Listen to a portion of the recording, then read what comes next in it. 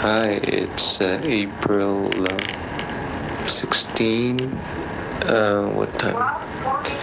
It's 12:48 a.m.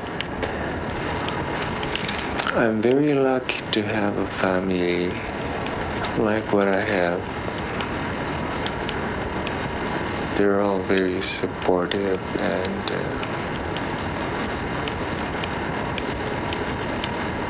they're a gift from God, and uh, I just thank the Lord for them.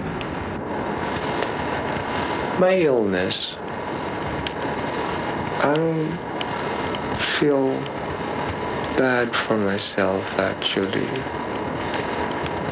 I feel I feel more pain not for myself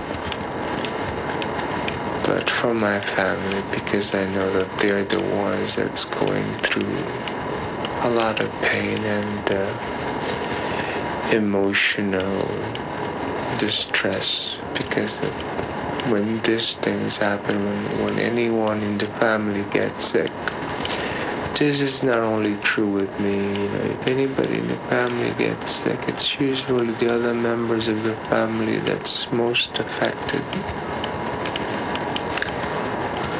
And uh, that's the only thing that I hope and pray that it wouldn't be too hard on them.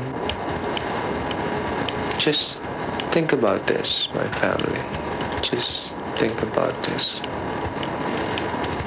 When I go, I'll be happier where I'm going. So just wish me bon voyage, you know. Okay?